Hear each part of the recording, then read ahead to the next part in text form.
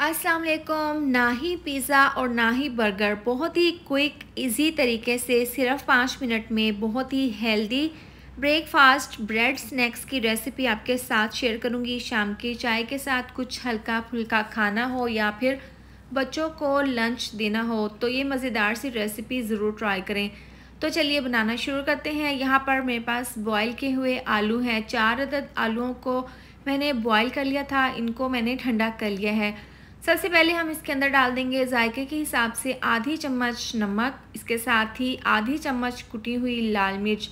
ये डालने के बाद आधी चम्मच डाल देंगे धनिया पाउडर, आधी चम्मच ज़ीरा पाउडर, इसके साथ ही एक चौथाई चम्मच डाल देंगे हल्दी पाउडर। अब ये तमाम मसाले डालने के बाद इसके अंदर हम डाल देंगे काफ़ी मकदार में बारीक कटा हुआ धनिया। अब इस तरीके से हमने आलूओं के साथ तमाम मसालों को अच्छे से इस तरीके से मैश कर लेने हैं।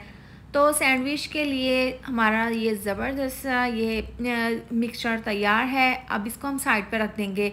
यहाँ पर मेरे पास है ब्रेड के स्लाइस सबसे पहले हमने यहाँ पर छुरी की मदद से इसके जो किनारे हैं, इनको अलहदा कर लेने हैं। किनारों का हम ब्रेड क्रम्स तैयार कर लेंगे।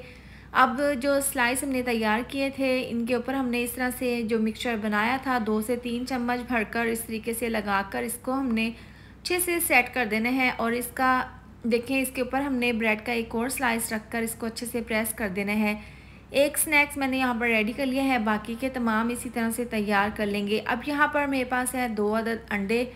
को मैंने पहले अच्छे से फेंट लिया है, अब इसके अंदर डाल देंगे आधा कप दूध। ये डालकर इसको दोबारा से मिक्स कर लेंगे। अब जो हमने स्नैक्स बनाकर रखे थे, उसको हमने अंडे और दूध वाले मिक्सचर में अच्छे से इस तरीके से डिप कर देना है। इसके बाद इसके ऊपर हमने ब्रेड क्रम्स लगा देने हैं। चारों तरफ़ हमने इसको अच्छे से ब्रेड क्रम से कोट कर लेने हैं। तो देखें, सारे हम इसी तरह से तैयार कर लेंगे।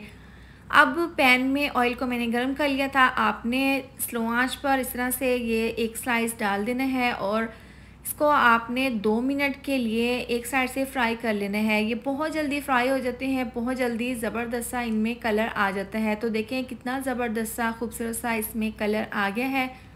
तो दूसरी साइड से भी हमने इसी तरह से इसको फ्राई कर लेना है। अब बाकी के स्नैक्स भी हम इसी तरह से डाल देंगे ऑयल में और आपने इसको स्लो आँच पर फ्राई करना है, तभी इनमें ज़बरदस्त सा, खूबसूरत सा कलर आएगा।